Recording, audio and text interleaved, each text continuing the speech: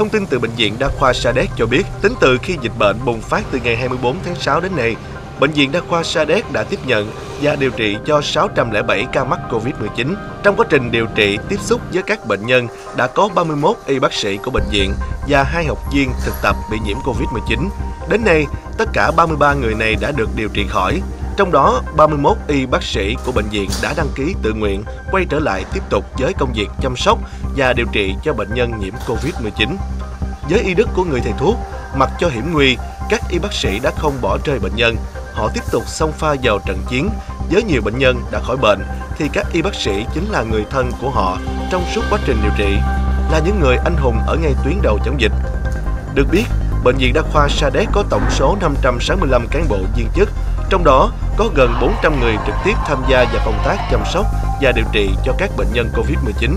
Số còn lại đảm nhiệm công tác hậu cần bên ngoài.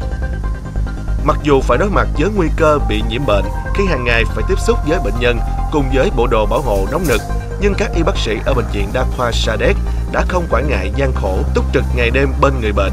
Đến nay đã điều trị khỏi cho 313 bệnh nhân xuất viện về nhà.